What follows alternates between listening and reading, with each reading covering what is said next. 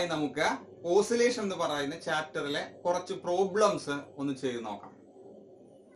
നിങ്ങൾ ഞാൻ രണ്ടായിരത്തി പന്ത്രണ്ട് മുതലുള്ള ക്വസ്റ്റ്യൻ പേപ്പറുകൾ ഗ്രൂപ്പിൽ ഇട്ടിട്ടുണ്ട്. ആ ക്വസ്റ്റ്യൻ പേപ്പറുകൾ എല്ലാം നിങ്ങൾ ആൻസർ ചെയ്യണം. അഡീഷണൽ ആയിട്ട് കിട്ടുമെങ്കിൽ അതും ചെയ്യണം. ഡൗട്ട് വരുന്നുണ്ടെങ്കിൽ പേഴ്സണലായിട്ട് വാട്സാപ്പ് ചെയ്യുകയോ ഗ്രൂപ്പിൽ ഇടുകയോ ചെയ്യണം. പതിനെട്ടാം തീയതി എക്സാം സ്റ്റാർട്ട് ചെയ്യാണ്. മറക്കണം. ഓസിലേഷനിൽ ഒന്നാമതായി ചെയ്യാൻ പോകുന്ന ഒരു പ്രോബ്ലം നോക്കൂ. On an average a human heart beat is found to be is found to beat 72 times in a minute. Calculate the period and frequency of heartbeat. നോക്കൂ ആവറേജ് ഒരു ഹ്യൂമൻ ഹാർട്ട് ഒരു മിനിറ്റിൽ എഴുപത്തിരണ്ട് തവണ ഇടിക്കുന്നുണ്ട് എഴുപത്തിരണ്ട് തവണ ബീറ്റ് ചെയ്യുന്നു എങ്കിൽ ഒരു മനുഷ്യ ഹൃദയത്തിന്റെ പീരിയഡ് ഫ്രീക്വൻസി എന്നിവ എത്രയാണ്? ഹാർട്ട് ബീറ്റ് ഇടിക്കാൻ വേണ്ട ഒരു തവണ ഇടിക്കാൻ വേണ്ട സമയം എത്ര? ഒരു സെക്കൻഡിൽ എത്ര തവണ ഇടിച്ചിട്ടുണ്ട്? ഒരു മിനിറ്റ് ആണ് തന്നിട്ടുള്ളത് കേട്ടോ അപ്പൊ ഫ്രീക്വൻസിയും ടൈം പീരീഡും ആണ് ചോദിച്ചിട്ടുള്ളത്. ഒരു മിനിറ്റിൽ ഇടിക്കുന്ന എണ്ണവും തന്നിട്ടുണ്ട്. അപ്പൊ നമുക്ക് തന്നതൊന്ന് എടുത്ത് എഴുതി നോക്കാം. അങ്ങനെയാണല്ലോ പ്രോബ്ലം ചെയ്യേണ്ട രീതി പറഞ്ഞു വെച്ചിട്ടുള്ളത്. അതിൽ number of times it is beating is seventy two എന്താണ് എഴുപത്തിരണ്ടാണ് അതിനെടുത്ത സമയം ഒരു മിനിറ്റാണ്. നമുക്ക് മിനിറ്റിൽ സമയം വേണ്ട. That means it is equal to sixty second രണ്ട് ചോദ്യമുള്ളത് what is time period and what is frequency നമുക്ക് ആദ്യം ടൈം പീരീഡ് കാണാം. എങ്ങനെയാണ് ടൈം പീരീഡ് കണ്ടെത്തുക? This is our solution time പീരീഡിന്റെ equation ഇതാണ്. ആകെ എടുത്ത സമയം divided by total number of the roses ക്ലാസ്സിൽ പറഞ്ഞിട്ടുള്ളതാണ്. So you get it is total time is sixty divided by seventy two that answer is zero point eight three second this is the time period ഒരു ഓസിലേഷന് ഒരു ഒരു oscillation അല്ല ഒരു heart ബീറ്റിന് ഒരു second പോലും വേണ്ട. ഓക്കെ അല്ലോ then what is frequency frequency is one by time ഇങ്ങനെ എഴുതാട്ടോ. അതല്ലെങ്കിൽ ഇത് തിരിച്ചിടാം. What is one by T ഇത് തിരിച്ചിട്ടാൽ N by small letter T what is N it is seventy two divided by time is sixty you get the answer one point two it's unit is hertz Okay. So you get time period and frequency of heart beat The problem നോക്കുക. നമുക്ക് derive ചെയ്യാനുള്ളതാണ്. Find the length of seconds pendulum second പെൻഡുലത്തിന്റെ length കണ്ടെത്തുന്നത് എങ്ങനെയാണെന്ന് വിശദീകരിക്കും. ഒരു simple പെൻഡുലത്തിലാണല്ലോ second സ്പെൻഡിൽ എന്നുള്ള വാക്ക് നമ്മൾ കേട്ടിട്ടുള്ളത്.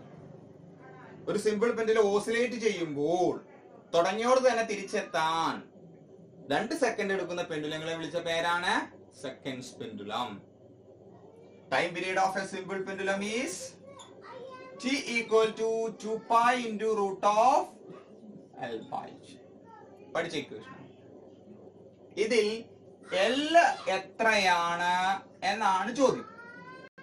When T equal to two seconds you know the value of g equal to 9.8 metre per second square അപ്പൊ ഇതിന്റെ ഉള്ളിൽ എല്ലിന്റെ വില കണ്ടെത്താനാണ് ചോദിച്ചിട്ടുള്ളത്.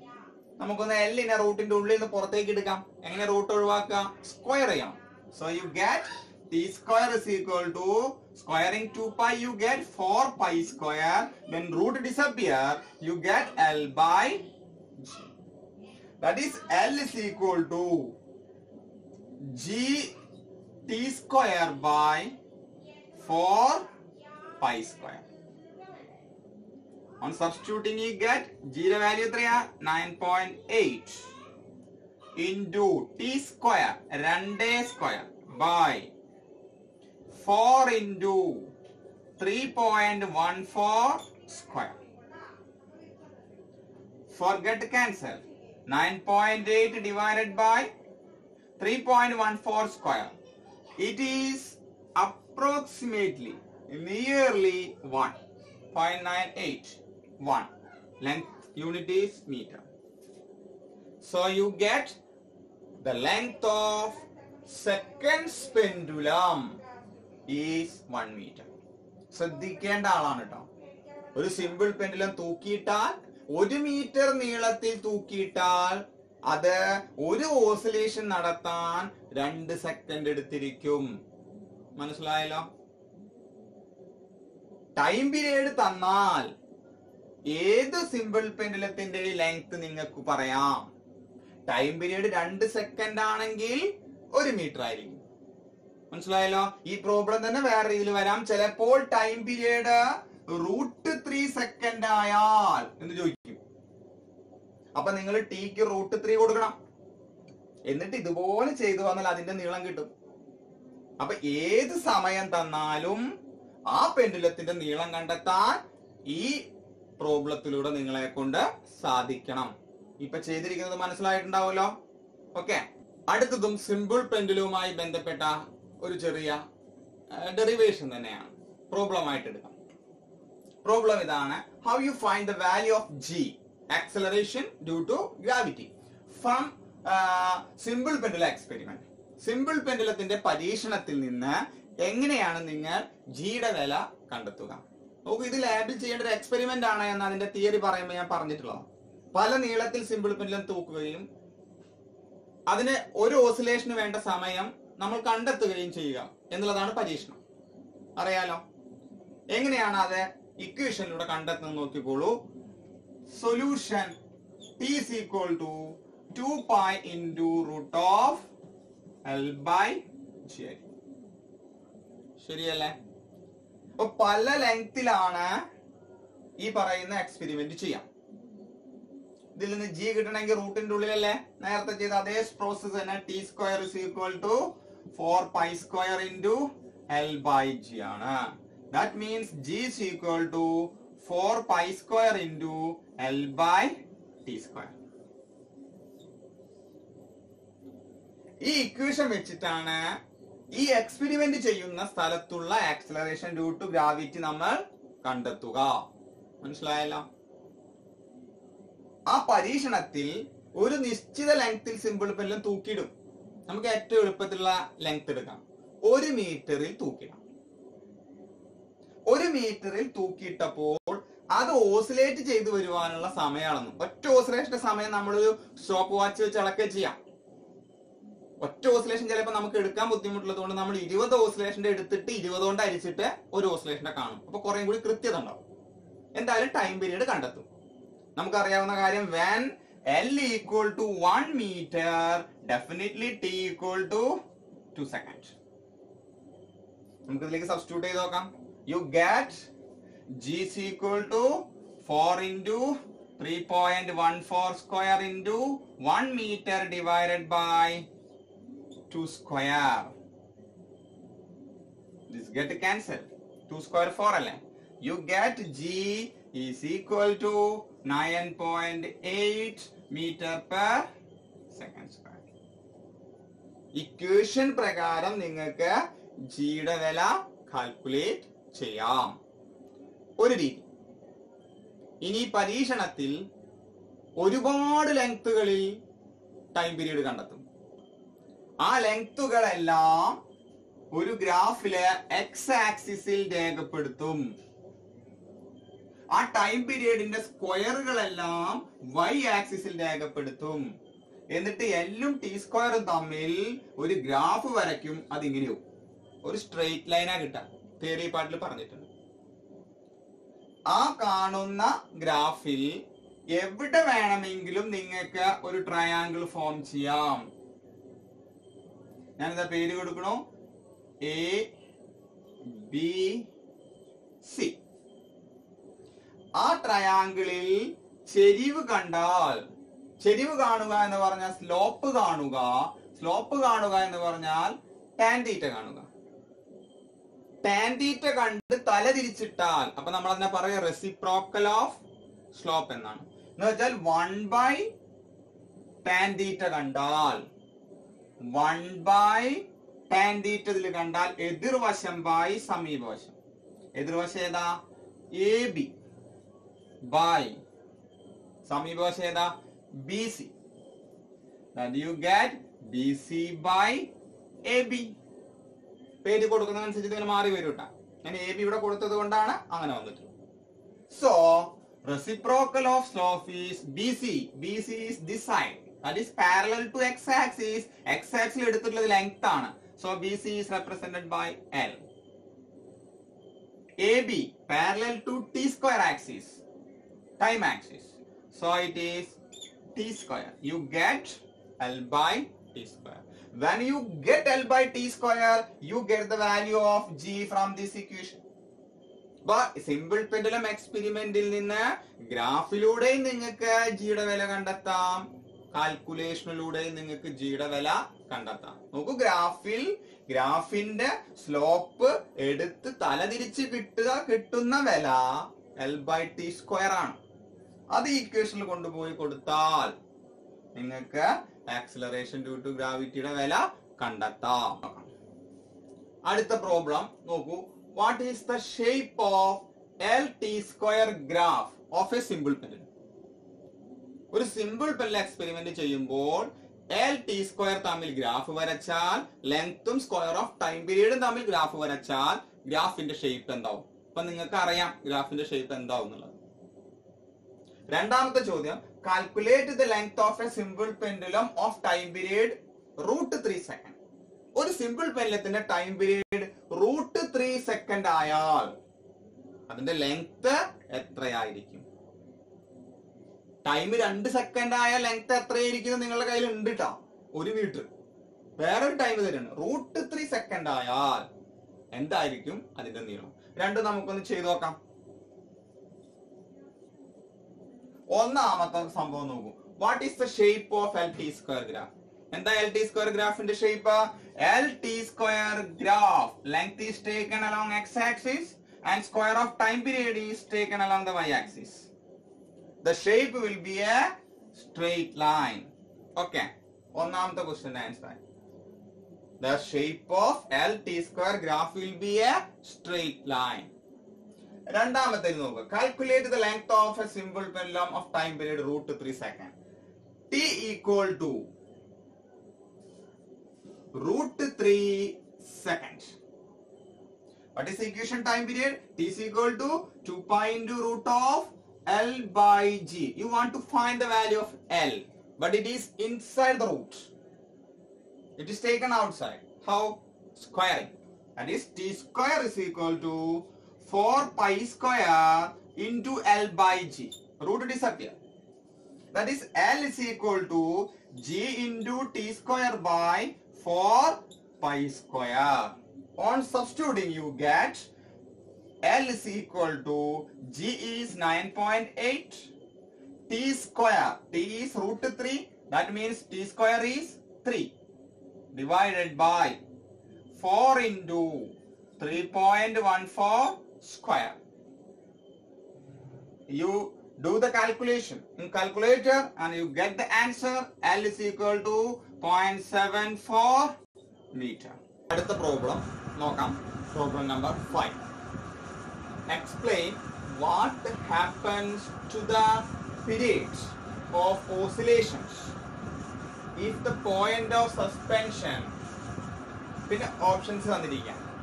ഒരു സിമ്പിൾ പെൻഡുലത്തിന് ടൈം പീരീഡിന് എന്ത് സംഭവിക്കുന്നു എന്നാണ് ചോദിക്കുന്നത്. അത് തൂക്കിയിട്ടിരിക്കുന്ന പോയിന്റ് ആ സിമ്പിൾ പെൻഡുലം ഉൾപ്പെടെ ഒന്ന് move vertically upwards with an acceleration simple pendulum setup മൊത്തം പോയിന്റ് ഓഫ് സസ്പെൻഷൻ ഉൾപ്പെടെ മുകളിലേക്ക് ഒരു ആക്സിലറേഷനോട് കൂടി മൂവ് ചെയ്താൽ എന്തായിരിക്കും ടൈം പീരീഡിന് സംഭവിക്കുക മുകളിലേക്ക് പോകുമ്പോ ജിക്ക് എന്ത് മാറ്റം വരുന്നു എന്നുള്ളത്?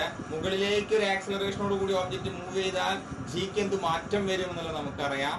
താഴേക്ക് മൂവ് ചെയ്താൽ ജിക്ക് എന്ത് മാറ്റം വരും എന്നുള്ളത് നമുക്കറിയാം. Apparent weight of an object in a lift ഒരു ലിഫ്റ്റിലെ അപ്പാരന്റ് വെയിറ്റ് ഇക്വേഷൻ നമ്മൾ ഫോർത്തോ ഫിഫ്ത് ചാപ്റ്ററിൽ ഡിസ്കസ് ചെയ്തിട്ടുണ്ട്. അപ്പൊ നമുക്ക് ആദ്യത്തെ ആൻസർ നോക്കാം. Move vertically upward with an this is the equation of time period T is equal to 2 pi into root of L by ഇത് പോയിന്റ് ഓഫ് സസ്പെൻഷൻ റെസ്റ്റ് അവസ്ഥയാണ്. എന്നാൽ ഈ പോയിന്റ് ഓഫ് സസ്പെൻഷൻ ഉൾപ്പെടുന്ന സിമ്പിൾ പെൻഡിലും മുകളിലേക്ക് ഒരു ആക്സിലറേഷനോട് കൂടി മൂവ് ചെയ്താൽ resultant acceleration due to gravity എന്ന് പറയുന്നത് ജി അല്ല. Two pi into root of L by G plus a ആയിരിക്കും. അപ്പൊ ഒരു സിസ്റ്റം ഒരു ആക്സിലറേഷനോട് കൂടി മുകളിലോട്ട് മൂവ് ചെയ്താൽ ആക്സിലറേഷൻ ഡ്യൂ ടു ഗ്രാവിറ്റിയുടെ വില ജി പ്ലസ് ആ സിസ്റ്റത്തിന്റെ ആക്സിലറേഷൻ ആണ്. മുന്നേ പഠിച്ചിട്ടുള്ളതാണ്. This is the expression of time period. What happens to the time period? Resultant acceleration is increasing. That means time period is decreasing because it is in denominator. Time period decreases. T decreases. The answer of our first question. Okay lo t summon 2 pi into root of l by g plus n. ഈ രണ്ടാമത്തെ part നോക്കാം. Move downward with an acceleration a ഇപ്പൊ മുകളിലേക്ക് പോയതിന് പകരം എവിടേക്ക് വരുന്നത്? താഴേക്ക് മൂവ് ചെയ്യണം ആക്സിലർ വെർട്ടിക്കലി ഡൗൺവേർഡ് ആണ്. വെർട്ടിക്കലി ഡൗൺവേർഡ് ആണെങ്കിൽ റിസൾട്ടന്റ് ആക്സിലറേഷൻ ടി സമം two pi into root of L by G plus a അല്ല താഴത്തേക്ക് വരുമ്പോ. അപ്പൊ രണ്ടാമത്തതിന്റെ ആൻസർ കൊടുക്കുമ്പോ ആദ്യം ടൈം പീരിയഡ് ഇക്വേഷൻ ടി സമം two point root of L by G but when system is moving vertically downward resultant acceleration is G minus a inside root denominator effective value decreases. When this value decreases time period increases. Time period increase ചെയ്യുക എന്ന് പറഞ്ഞാൽ അർത്ഥം പതുക്കെ oscillate ചെയ്യുന്നു എന്നാണ് ട്ടാ. കാരണം അങ്ങോട്ട് പോയി ഇങ്ങോട്ട് വരുവാൻ എടുക്കുന്ന സമയമാണ് ടൈം പീരീഡ് അത് വർദ്ധിച്ചു എന്ന് പറഞ്ഞാൽ അർത്ഥം സ്പീഡിൽ അത് ഓസിലേറ്റ് ചെയ്യില്ല. പതുക്കെ ഓസിലേറ്റ് ചെയ്യും. അപ്പൊ എനിക്ക് കിട്ടുന്ന ആൻസർ ടി ഇൻക്രീസസ് നേരത്തെ കിട്ടിയത് നേരെ വിപരീതം. ജി മൈനസ് ഡിനോമിനേറ്ററിൽ വന്ന സ്ഥിതിക്ക് ടിയുടെ വാല്യൂ ഇവിടുത്തെ വില കുറഞ്ഞു. ഇവിടുത്തെ വില കൂടി. That is time period increase ഇപ്പൊ രണ്ടാമത്തതിന്റെ ആൻസർ ഇനി മൂന്നാമത്തെ ക്വസ്റ്റ്യൻ നോക്കൂ. ഫാൾസ് ഫ്രീലി അണ്ടർ ഗ്രാവിറ്റി സ്വതന്ത്രമായിട്ട് ഈ പറയുന്ന സിമ്പിൾ പെല്ലം അടങ്ങിയ സിസ്റ്റം താഴത്തേക്ക് വീണാൽ സ്വതന്ത്രമായി താഴത്തേക്ക് വീഴുന്ന ഒരു വസ്തുവിന്റെ ആക്സിലറേഷൻ ഡ്യൂ ടു ഗ്രാവിറ്റി എന്ന് പറയുന്നത് ജി ആണ്. പഠിച്ചിട്ടില്ല. Again answer of third question is C is equal to two root of L by G but when the system is freely falling Resultant is 2 pi into root of L divided by G minus A. എയുടെ വില എത്രയാണ്? G തന്നെയാണ്. You get it is G minus G. G minus G എത്ര വരിക? Zero അതിന്റെ അർത്ഥം റൂട്ടിന്റെ ഉള്ളിൽ L by zero എന്ന് വരും. വൺ ബൈ സീറോ എന്ന് അവിടെ ഉണ്ടാവും വൺ ബൈ സീറോയുടെ വില എത്രയാ? ഇറ്റ് ഈസ് ഇൻഫിനിറ്റി അതിന്റെ അർത്ഥം ഇൻഫിനിറ്റിയെ പിന്നെ എന്തുകൊണ്ട് കുടിച്ചിട്ടും കാര്യമില്ല. ഇൻഫിനിറ്റി തന്നെയാണ് വരുന്നത്. So you get time period equal to infinity. എന്താ ടൈം പീരീഡ് ഇൻഫിനിറ്റി എന്ന് പറഞ്ഞാൽ അർത്ഥം? അത് അളക്കാൻ പറ്റാത്ത വലിയ സംഖ്യയായിട്ട് മാറുന്നു. അതിന്റെ അർത്ഥം ഒരു സിമ്പിൾ പെൻഡലം അങ്ങോട്ട് പോയാൽ അനന്തമായ കാലത്തേക്ക് പിന്നെ അത് തിരിച്ചു വരില്ല. കോമൺ സെൻസിൽ പറയുമ്പോൾ അർത്ഥം ഇതാണ്. സിമ്പിൾ പെൻലത്തിന് സ്വന്തമായി താഴത്തേക്ക് വീഴുന്ന സിസ്റ്റം ആണെങ്കിൽ ഓസിലേറ്റ് ചെയ്യാൻ പറ്റും it will not oscillate in a freely falling system horizontal ആയിട്ട് മൂവ് ചെയ്യുകയാണെങ്കിൽ റിസൾട്ടന്റ് ആക്സലറേഷൻ ഡ്യൂ ടു ഗ്രാവിറ്റിക്ക് യാതൊരു വിധത്തിലുള്ള ചേഞ്ചും സംഭവിക്കില്ല. അതുകൊണ്ട് ടൈം പീരിയഡ് ഇക്വേഷൻ തന്നെയാണ് T seven two point root of L by G that is T no change time പീരിയഡിൽ എന്തില്ല? മാറ്റം ഇല്ല. നാലാമത്തതിന്റെ ആൻസർ വൈ ഇനി അഞ്ചാമത്തെ നോക്കാം. Is taken to a height equal to the radius of surface മുകളിലേക്ക് പോകുമ്പോൾ ആക്സലേഷൻ ഡ്യൂ ടു ഗ്രാവിറ്റിക്ക് എന്ത് സംഭവിക്കും? ആക്സലേഷൻ ഡ്യൂ ടു ഗ്രാവിറ്റി കുറയും. ജി കുറഞ്ഞ എന്ത് സംഭവിക്കും? ടൈം പീരീഡ് കൂടും. ഇതാണ് ആൻസർ നമുക്ക് വേണമെങ്കിൽ അതിൽ ഇക്വേഷനിലേക്ക് സബ്സ്റ്റിറ്റ്യൂട്ട് ചെയ്യാം. ടി സി കൊണ്ട് root of L by G ആണ്. ജി മുകളിലേക്ക് പോയാൽ നമുക്ക് ജി എച്ച് എന്ന് വിളിക്കാം. ഹൈറ്റിലുള്ള ജി സ്വാഭാവികമായിട്ടും കുറവായിരിക്കും. ജി എച്ച് കണ്ടെത്താൻ വേണ്ടി ഗ്രാവിറ്റേഷണൽ ഇക്വേഷനിലേക്ക് പോവാം. G H equal to G surface divided by one plus H by R whole square എന്ന് പറയുന്ന ഇക്വേഷൻ അതിൽ എച്ചിലെ ആർ എന്ന് സബ്സ്റ്റിറ്റ്യൂട്ട് ചെയ്തു. കാരണം ഭൂമിയുടെ റേഡിയസ് ആർ എന്ന് പറഞ്ഞിട്ടുണ്ട്. അത്ര ഉയരത്തിലേക്ക് കൊണ്ടുപോയിരിക്കും so I can write G H is equal to G S G ആയിട്ട് മാറ്റി എഴുതി. കാരണം സർഫസിലെ വില നമ്മൾ ജി എന്നാ കൊടുത്തത്. അപ്പൊ G divide by one plus H പകരം ആർ കൊടുത്തു. R by R whole square R by R എത്രയാ? One one plus one two two square four ഇപ്പൊ കിട്ടുന്നത് ജി എച്ച് ഇസ് എന്താ? ജി ബൈ ഫോർ ആണ്. നേരെ നമ്മുടെ ഇക്വേഷനിൽ കൊണ്ടുകൊടുത്തു T seven two by into root of L divided by G by four ഇപ്പൊ ഡിനോമിനേറ്ററിലെ വില കുറഞ്ഞു. സ്വാഭാവികമായിട്ടും ടൈം പീരീഡിന്റെ വില എന്ത് ചെയ്യണം? കൂടണം. That means time period increases അഞ്ച് ക്വസ്റ്റിനും അനുയോജ്യമായ ഉത്തരമായി. മനസ്സിലായല്ലോ?